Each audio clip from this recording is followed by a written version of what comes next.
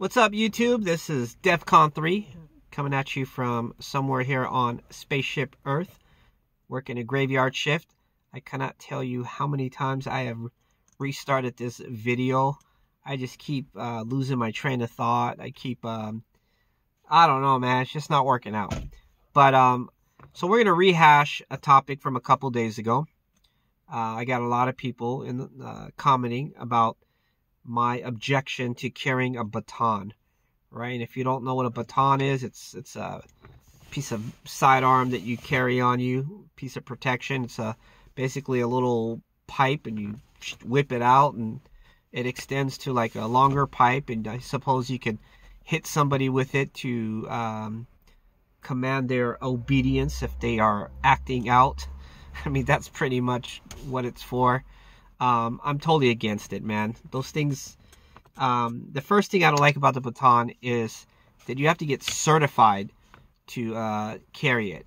Um, and whenever there's certification, there's rules. And if anybody has ever been certified in carrying one, you're going to find that you're not supposed to hit somebody in the head with it. You're not supposed to um, do anything that would be like a deadly strike. What what it's meant to do is to um, apprehend somebody or to get somebody to submit through pain. That's that's what they're for. So you would take this baton and you would hit them on their thigh or on their shoulder really hard and hope that they give in. Man, try doing that to somebody who is high on PCP, six foot two, and a natural born street fighter. They are going to beat your ass, no doubt. Excuse my language, but it just it's it wouldn't work, man. Trust me. The last thing you want if somebody is coming at you is to allow them to get within two or three feet of you so you can actually use that thing. I would not allow somebody to even get that close to me. I'll go for my pepper spray. I'll go for my taser. Those are two uh, less than lethal options that um, that I find are more effective than the baton. Pepper spray, I don't care how big you are, how fast you are. If somebody sprays you in the face with that, it's game over for you. You're blinded. Look at videos on YouTube where people are in protest or riots. They get sprayed with uh, pepper spray. It stops them instantly. So why not go for that? A taser, uh, man, I've got mixed reviews about that. I've seen videos where people get tased and then they just stand right up or they pull the the uh, actual probes right out of them and it does nothing. So the taser is a good visual deterrent. It may scare some people. As far as its effectiveness, I don't know. But the good news is, if uh, you do have to utilize the taser, you can do it from like 20 feet away. So if it does mess up, you can always go for your pepper spray right after, right? The baton, man, you got to literally be within a few feet of the person in order for it to work. And like I said, that's the last thing I want is to have somebody like right next to me um, while I'm trying to hit them in the shoulder with this thing. Why not hit them in the head? Well, because you're not supposed to. If you take the class, you'll find that you're supposed to hit them on the fatty or meaty part of their body, i.e., their hips or their thighs or their shoulders. So, yeah, what they're telling you to do is somebody's coming at you, some big dude's trying to like nail you. They want you to take this baton and whack them on the side of their body until they submit to the pain. Dude, that's so lame. That will never work. It is dangerous, and I don't know why um, people still carry them. It's so primitive. Uh, given what we're up against nowadays with people carrying uh, weapons and modified knives, why the heck would I want to carry a baton? If I was like, anyway, dude, I, there's no argument. I, like I said, I read some of the comments. You guys have some great points. Even people that uh, insist on carrying them your points were extremely valid, but this is just where I'm coming from, man. I, I um, I just, I just can't see, um, I can't see using one, and it looks bad. Somebody mentioned in one of the comments, uh, I think it was uh, Mr. Freeman. He mentioned that it looks horrible on camera, and he's right. Could you imagine if you justly used one, right? And uh, they wanted to take you to court. You know how bad it looks hitting somebody with this metal pipe on camera, you really look like a, a, a douche hitting somebody with that. It's horrible. Um, beating somebody with that, just, I don't care what they did. It just, it makes you look like the bad guy. So it's just another reason to to not want to carry one. Um, man, I've refilmed this video so many times that I don't even know what I've talked about and what I haven't talked about yet. Uh, if you do get a baton, you have to get certified. You have to go through a course. And again, within that course, you're going to learn that you're not supposed to ever hit somebody in the head because then it becomes a lethal weapon. Um, so therefore, again, what what's the use of it? Just it, it becomes it's dangerous, man. I'm sorry. I'm I'm I'm trying to like not be too negative and trying to hold myself back from t- saying what I really think about them. I just really don't like them. They're heavy. Uh, I don't know any situation where I would use it other than to break a window uh, if it was uh, necessary of a, on a vehicle. Um, shoot, even if a dog came at me, I would rather pepper spray it um, or maybe even tase it than try to use my baton. Uh, I will give you guys a, a solution to a baton though in a, in a, few minutes if you just stick with me for a minute. um, so there you go, guys. That's just my thoughts. I'll throw in one more little caveat here. Um, the less stuff you have on you, the less you have to explain yourself if you ever have to use your firearm. Now, let me explain that. If, God forbid, I ever had to use my firearm, a jury would say, well, why didn't you pepper spray the guy? And I can argue that, well, the wind was blowing toward me and I was afraid to pepper spray him, or the guy was coming at me too fast, pepper spray wouldn't have done the trick, or he had on goggles, right? So his eyes were protected. Uh, if a jury asked me, well, why didn't you use your taser? I'd say, well, I did use it. Obviously, it was ineffective, so I had to go for my firearm. Um, and uh, another argument will be like, well, why didn't you go for your baton first and then use your firearm? So you can see the more nonsense you have on your utility belt, the more you're going to get in trouble if you ever had to use your firearm. Now, I'm not by any means telling you guys go for the firearm. Uh, I've actually de escalated every single situation that I've ever been in with my voice, and occasionally I've pulled out my taser and uh, not and it scared the person enough to to back down. So I'm telling you, you don't ever have to go for your firearm. That thing is meant for like uh, I, you know, a cops and robbers scenario where you're in a bank and somebody starts shooting and they start shooting at you and then you pull out your firearm, but you never pull out your firearm to intimidate or to try to get somebody to submit or yeah, I mean you guys are professional enough hopefully to know that, right? But um, I'm just saying God forbid it ever comes down to your firearm. I don't want anybody ever saying, well, why didn't you go for this or why didn't you go for that?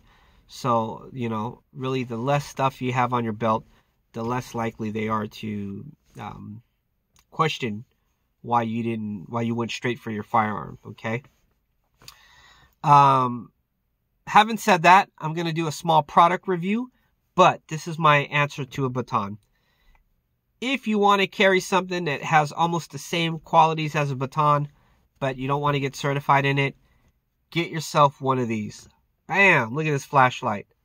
I don't know if you can tell, but this is like aircraft grade uh, aluminum, or yeah, it is aluminum material. This right here is really like, man, I don't even know where to start with this thing. Okay, so it's called a Bushnell, Bushnell, right? Bushnell 1500 Pro flashlight. This thing, look how long it is. It's about one foot in length. You could use this as a baton. And trust me, you don't need a license to uh, any kind of certification to carry this thing around. And it can get the job done. Again, hardened steel edges. You know what this is for, right? Boom, breaking glass. Look at that lens in there. That thing is absolutely huge. This is 1500 lumens. And when I tell you it's 1500 lumens, it is true lumens. Cree lens, which means it is actually 1500 lumens. All right, so this thing has four different modes. It's got strobe, it's got high, it's got low, and then it's got an SOS pattern. The high on here is really high. It's such a bright light that it actually makes a humming sound when it lights up because it is like powerful. Uh, it'll give you about two hours of runtime um, if you have it on high. If you have it on low, get this, you get 24 hours worth of um, light out of it on low. What I love about it is it's rechargeable. You turn this little thing right here. Let's see where it's at. Try to, of course. Oh, there we go. Okay. So this little thing right here turns, right? I don't know if you can see it. There you go. And what it does is it exposes a little charging port right here. You can use your phone charger to charge this thing up, right? Or if you turn it some more, and since it's dark, we can't really get a good look on this. But if you turn it more, you see there's a little USB jack here. You know what that's for? Yep, you got that right. It's to charge a phone or any other um, item that you may need to charge. It doesn't use that big of a battery capacity. But so you've got a little charging port here. And if you turn it around to the side, you've got yourself a part uh, port to charge your actual flashlight. Uh, your on and off button is right here. But, um, and there you go. The bottom line is, and I was giving you a but, um, well, here's the but, um, but, um, this thing can be used as a baton, right? It's super, super, uh, rigid. I wouldn't say it's really heavy because, again, it's made out of aircraft aluminum. But, guys, why not carry this on you and not worry about the whole getting certified to carry a baton? And uh, again, it's just a tool. It's not really considered a weapon. It's it's a tool. It's a flashlight, right? So if you're going to carry a flashlight, uh, this would be the one to get. I'm going to put it in my affiliates link. Check it out. But this is one of the brightest flashlights that I have. I showed you guys. Well, I was going to show you the other flashlight, but then uh, that's what I'm using to light up the uh, cabin here with. But that other flashlight I have, this one is about five times brighter. So if if you thought that other flashlight was bright, man, this one right here really lights up the sky. And the reason why is because this lens is really fat. Uh, it's really hard to tell by the video, but it's such a thick lens. Uh, my other one is about half this size. So again, it's got a built-in battery. It recharges. It's shockproof, waterproof, probably bulletproof. Um, it's got a little thing right here that you could flip the switch off. So in case you want to carry this in a duffel bag, and you accidentally press this on button, it's not going to be running all night. Um, and then, you know, when you get it in the morning, it's totally depleted the battery. So you got to flip this little switch right here. You just go click, just like that. And now this thing can illuminate. Uh, matter of fact, let's see if we can get this to work. Oh, there we go. All right, so this thing is so bright. I mean, yeah, I guess you, this doesn't really help you guys at all. But you can see it looks like daylight in here right now. I'm just basically aiming it at the uh, ceiling here. So it is a really bright, it's a white light. Uh, it really does mimic sunlight pretty well. Um, it has a little um, hole in here where you can stick a lanyard through. But um, anyways, this is your Bushnell. Uh, if you want something that could uh, replicate the likeness of a baton, I'd say get one of these and skip the whole getting a certification for a baton. And then, of course, you have to recertify, right, every couple of years. All right, so just get yourself one of these. You can tell I'm already getting tired. I'm burned out. And the problem is, man, I have tried to record this video. I'm not kidding, like 10 times already. Every time I got like one minute into it, I would stop and record. And then somebody came up to my car and asked me a question. And then uh, I lost my train of thought. There was a moment there where I was literally, I was doing such a great video. Well, at least I felt like I was. And then I just sat there and thought, okay, what, what was I going to say? And then I sat there for like 10 seconds and said, all right, that's not acceptable. Just restart the video. So my voice is already crackling from talking so much. Um, so there you goes, guys. Uh, hey, guess what? I got um, today 200 subscribers. So thank you guys so much. I think I'm to do a giveaway. Um, matter of fact, I will. I'm to figure out what to give away. Um, huh. I will figure it out. Maybe I'll give away a flashlight or something. But I'm trying to rack up money on my Amazon affiliates link. And then I'm to take that money and then buy something with it and then use it to give it away to you guys. So that money is not really going into my pocket, but basically it's going to uh, back to you guys. So when you do get a chance, just click on that Amazon affiliate link. Even if you're not going to buy one of my products, just like for example, let's say you clicked on my Amazon affiliate link and then you went and bought some diapers, right? I would get some sort of credit for you buying those diapers, even though you didn't buy my product. So just by clicking on my link, which takes you to Amazon, and then purchasing something completely different. It helps me out, and then I take that money and I turn around and I give it back to you guys. As of now, I have $8.03 uh, accumulated into that account, which, you know, it's not bad. I mean, I'd like to get like 30 bucks or something um, so I can take that and then purchase something to, or maybe hand out gift cards every once in a while in a giveaway. Uh, but today being a milestone, 200 subscribers, I think I'm just going to use my own money or give away something I already own that might be worthy. Uh, when I get home, I'll try to figure something out. Um, otherwise, um, that's it, guys. I appreciate it. I wanted to get a video out tonight. I'm sorry uh, if uh, if uh, it's, it's it's kind of you know I don't even know what to say anymore. All right, guys, I'm messing up. You guys take care. Hey, know your value, know your worth. Be safe.